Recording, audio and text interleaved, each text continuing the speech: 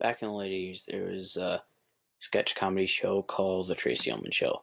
And creator of the comic series Life in Hell, Matt Groening, was going to pitch his creation, Life in Hell, to be a series of animated shorts for the show.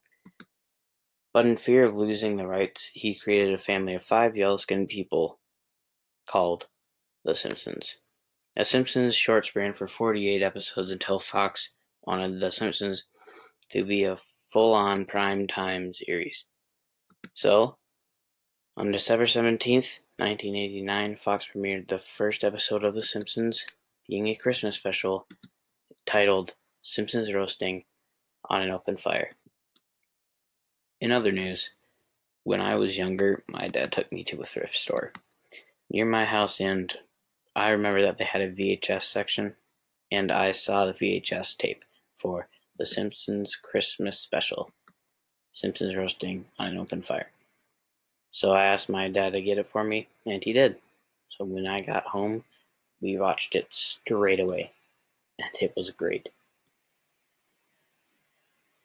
We start out straight into the episode with Homer and Marge being late to the school's Christmas pageant, which has a three and a half star rating. Then, after the pageant, we cut to the Simpsons at home, setting up for Christmas, and Homer makes the house look not so great. The next day, Homer is at the power plant and he finds out that he will not be getting Christmas bonus this year. On the other side, Marge has to get rid of all the Christmas money because Bart gets a tattoo removed. And after, we see Homer and Marge in bed, and Homer tells Marge that he will do the Christmas shopping this year.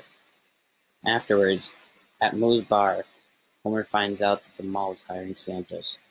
So Homer takes the classes to become a mall Santa. When Homer is working as a mall Santa, Bart is there to pull off the Santa's beard, not knowing it's Homer. Then Homer is left with no job and him $13. So Barney, having also been a mall Santa, takes Homer and Bart to Springfield Downs to bet on the dog, Whirlwind. But instead, Homer bets on the dog, Santa's little helper, who comes in eighth.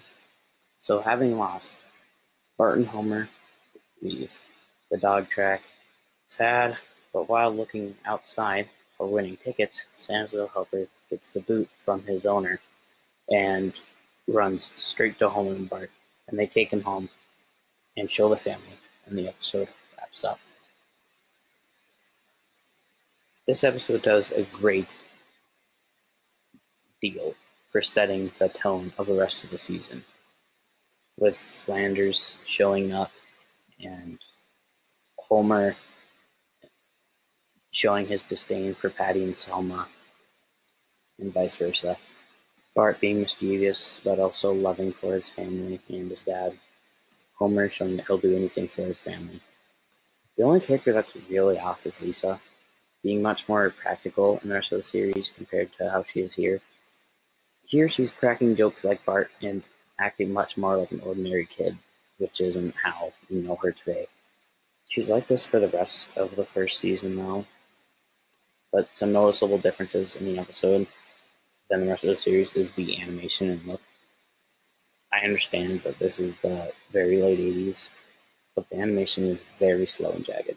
I mean, this lady behind Homer and Marge doesn't even have a nose. Along with that, Burns' office looks entirely different and much smaller than it normally does. Moe's bar is blue instead of being green, and this background at the end of the episode is upside down. Also, the lack of a couch gag is somewhat odd, but it is nice for most to get straight into the episode without having to sit through the opening credits. Personally, my favorite parts of the episode is the one-liners and the jokes for example, Bart saying there's only one fat man that brings them presents and it isn't Santa. When Homer's working as mall Santa and the picture is taken when he's in mid-bite of a kid's donut. And when Homer says he'll be better when Mrs. Claus's sisters are out of town. Overall, I love this episode. I could watch it even when it's not even close to Christmas time. It might be due to nostalgia, but I just think it's that good. I'll leave that up to you. Go watch the episode. and decide if it is worth everybody watching around Christmas.